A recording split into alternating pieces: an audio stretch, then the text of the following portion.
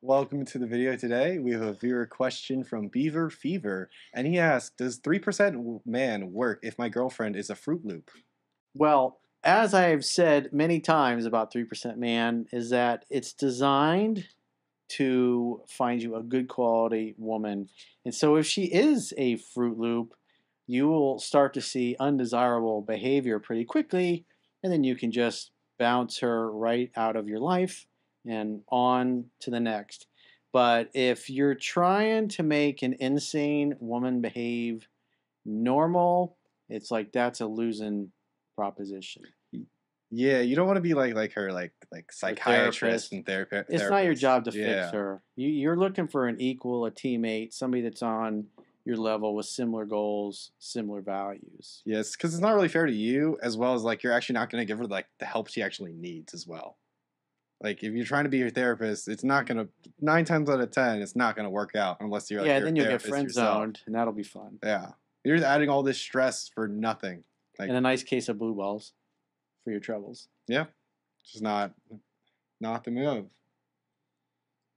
You think insane people can be fixed? I don't. Not unless they fix themselves. That's a, it's a question. I mean, we gotta live in an insane in your own world. rescue. I guess it depends on like the level of in- insanity and what kind of insanity it is. He also might find out things that he might not want to know about her. Yeah, because like you can call like, oh, this girl's crazy, but then there's like, oh, this girl's insane. Like there, there's like there's a scale here. Like we need to know what we're talking about.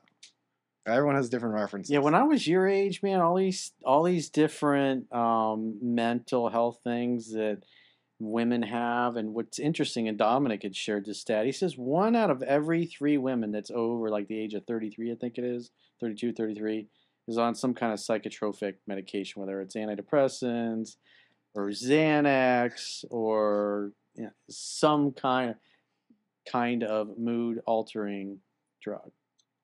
And so being on them versus taking, you know, taking themselves off them, because I've had experience with that. My mother was a psychotic schizophrenic. My dad had a fiance that was a manic depressive, and when, and plus I had a girlfriend that was on them and then took herself off, and it's like, phew.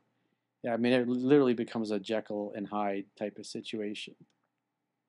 that's actually what Jekyll and Hyde was about. Is about the psychology. That's what like, it represents. Not just like this guy becoming an actual other person. It's just psychology. Yeah. Boom. Psychology lesson of the Whether day. crazy or insane, you got to participate in your own rescue, like Corey Yeah. said. Yeah, you're, Like you that want can somebody. be fixed. No, you know, if you put yourself out there, that can be fixed. It's kind of between your conscious self and your unconscious self. Yeah. You want somebody that's minimally competent. Can she pay her bills? Does she take care of her car? Is her car clean? Typically, girls that have clean cars have a clean box. I mean, that's just a, a fact of life. If they're diligent and they're disciplined, can they pay their bills on time? Hold down a steady job? Have decent credit?